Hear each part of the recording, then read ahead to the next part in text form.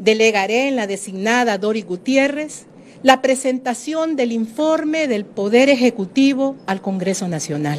No es del agrado de los hondureños que la presidenta Xiomara Castro prefiera asistir a un conclave internacional en Argentina en vez de rendir su primer informe de gobierno este 25 de enero, cuando después comenzará a abordarse temas de país de sumo interés. Muchos creen que si a ella no le interesa estar presente, peor le interesará al pueblo saber qué hizo en los 363 días al frente de esta administración.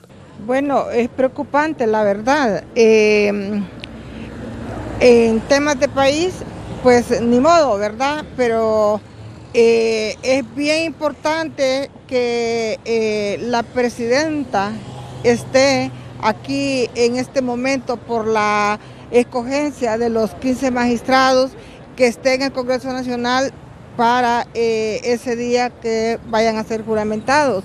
me parece que hay designados presidenciales que pueden hacer ese trabajo de andar en este momento eh, en otro país representando a Honduras, hasta el canciller de la República también. Muchos creen que por ser temas de interés debió permanecer aquí, pero solo ella sabe la trascendencia que reviste la cumbre de la Comunidad de Estados Latinoamericanos y del Caribe, CELAC, en Argentina. Bueno, si me pregunta, en mi concepto debió, debió haberse quedado, pero es una, porque, pero pueden decir, bueno, como Jorge es nacionalista está diciendo eso.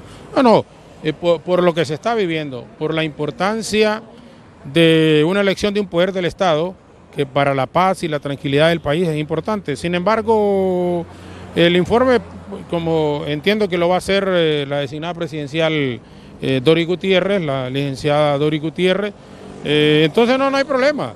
la gente, más que de un informe de los presidentes de los tres poderes del Estado, está pendiente y a la expectativa de la elección de la nueva Corte Suprema de Justicia. Otros consideran que en su ausencia están los designados presidenciales que le acompañaron en su fórmula de gobierno y puede destinar responsabilidad en cualquiera de ellos. El presidente del Poder Judicial indudablemente ha de estar avergonzado y por eso no va.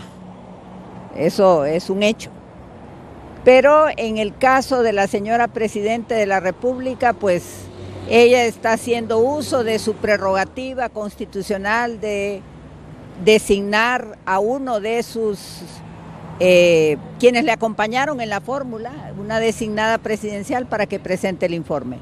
Es una potestad de ella y no está incumpliendo, porque será doña Dori Gutiérrez quien eh, en esta ocasión asumirá el poder de la nación la vida tiene prioridades y si para ellas esas decisiones pues servirán, de lo contrario no debe ausentarse en los momentos más importantes que reviste el país. Desde Tegucigalpa para Telenoticias, Gerson López en cámaras y Marvin López Uccini les hemos informado.